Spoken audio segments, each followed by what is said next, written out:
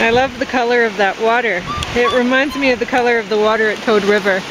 And uh, I'm at Takakkaw Falls and when I turn around after the bridge you'll be able to see that.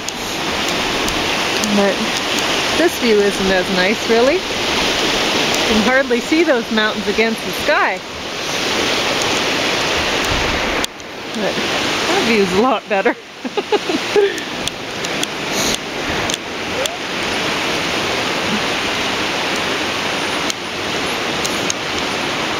It's amazing how big it is. Like we didn't really walk very far, but